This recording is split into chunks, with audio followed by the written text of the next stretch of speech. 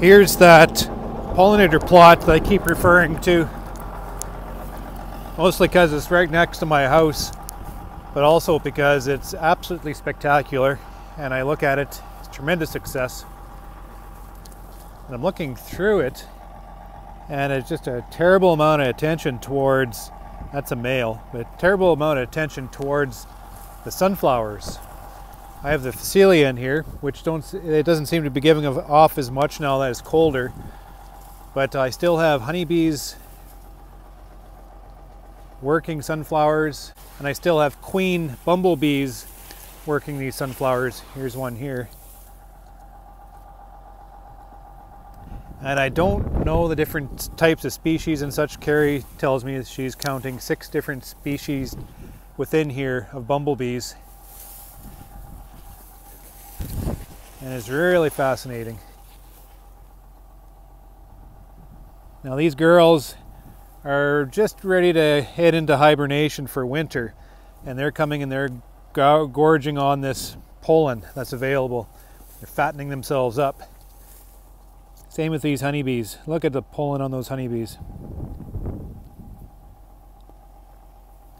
We've gone through a fairly heavy frost, so you can tell that these flowers are dying. There's still just drags of pollen on here, I guess. Here's a, a native bee. And you can see the, the little birdies are also feasting on them. Look at the size of that sunflower head. But at any rate, I had a like a follower send me a link to a study to do with uh, sunflower pollen and its medicinal medicinal effect it has on bumblebees and honeybees. And they're specifically referring to gut infection. There's a gut infection, I forget the name of it, you'll read it in the link I provide below. But there's a gut infection that plagues bumblebees, which apparently the pollen of the sunflower does a terrific job of counteracting it. And same with honeybees. Honeybees, they find when the honeybee gorges on sunflower pollen that it helps counteract the nosema spore infection within their guts uh, very noticeably. I forget the, you know, the, the actual data behind the the, uh, the study and the claims and the findings, but enough of a benefit that is it's quite significant. And they associate it specifically to sunflower pollen.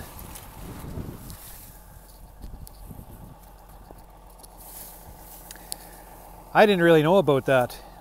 My purpose of putting sunflowers in here is because they're very attractive to all types of bees. They produce a lot of nectar and they produce a lot of pollen. And I know that sunflower pollen is lacking in some of the essentials which need to be balanced off with other pollens, but it's still pollen that can be used to provide those nutrients needed to build to build out that winter nest. Now, if these bees and these bumblebees are targeting these flowers to gather that sunflower pollen to gain the medicinal effect off it, then that is just a huge win for having these little set aside plots for all the native pollinators and honeybees within the area. And their findings are quite significant. It's not the, you know just casual, it's not just like margin of error. It is quite significant. They're talking about reduction of these gut pathogens within the bumblebee like 40 times. And I forget what it is for the honeybee in regards to nosema, but it is quite a significant advantage for all types of pollinators where the bumblebees and the honeybee anyway, to feast on sunflower pollen throughout the year and into the fall. And I'm wondering, I can't help but wonder. Okay, this is just an observation that I'm making. The last probably two, the last three years, our farm has been growing more sunflowers into the rotation uh, just because of crop rotation or whatever reason, our neighbors are doing the same. So I pretty much have my hives, I have access to sunflowers pretty much right across the board.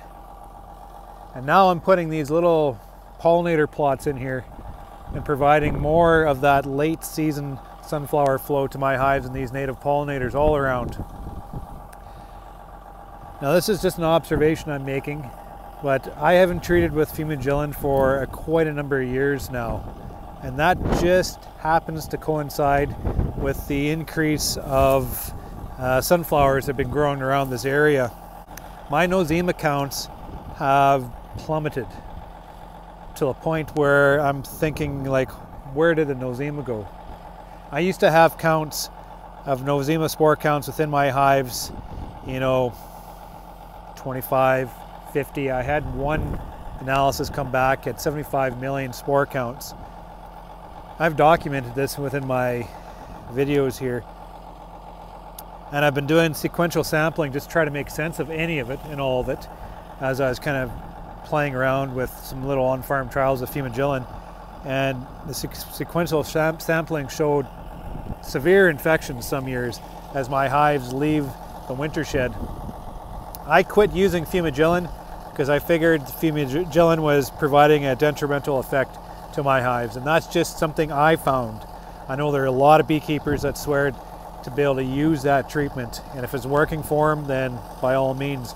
But I'm just passing on my experience, and that's that the treatment has provided so many inconsistencies amongst uh, the testing throughout my apiary and to the point where when I quit using it, I got more consistency in my sampling across the board and the nosema counts decreased. But whether or not those nosema counts decreased because of not using that treatment or just coincidentally, maybe it has something more to do with the forage that they've been actively feasting on. And just reading that study, I just couldn't help but think of this on the back of my mind like, holy shit, maybe this is what I'm seeing. Instead of that correlation between the treatment I'm putting in my colony, maybe it's a correlation of that natural forage that the bees are actively collecting and bringing in as we have more sunflowers in the area. And maybe by having more sunflowers in the area, maybe it's promoting like a, a better microbial environment within the gut of those bees to be able to counteract some of those nosema infections. And maybe because I'm spreading these little pollinator plots right across my farm, and maybe because my bees have access to more sunflower pollen more often throughout the year into the fall, maybe it's just providing the environment within the guts of the bees to be able to reduce those spore counts. It's things I'm thinking about and it's things I'm observing, and I can't prove any of that other than these bumblebees are thick on these sunflowers all through the fall. My honeybees are thick on these sunflowers all through the fall. They've been after these other flowers for nectar and all this kind of stuff, but predominantly they focus on the sunflowers. There is also a mention within the study that perhaps these bumblebees and honeybees to that effect are self-medicating. They, they also mentioned that bumblebees and honeybees to that effect will target the medicinal effect of the sunflower pollen when they're influencing heavy infection of the particular gut disease. And they specifically mention that.